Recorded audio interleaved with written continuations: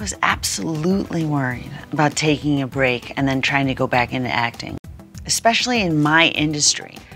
But I went back and I started working, and I have to say, like, even the past three years, I've been busier than I've ever been.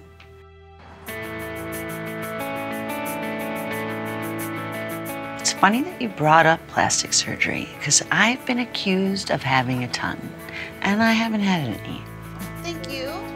I'm not saying that I wouldn't, but I almost feel like I might have missed that boat.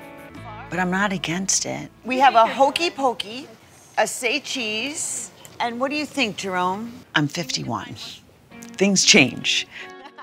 and if a woman wants to look a little younger, gain a little weight, it's a natural thing. I look a little fuller just from that. I'm okay with that. Hi, YouTubers. I'm excited to give you an update about our own YouTube channel.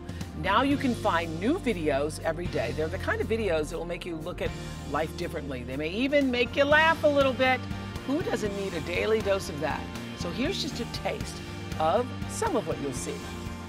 Subscribe to the OWN channel today, and we'll see you on YouTube.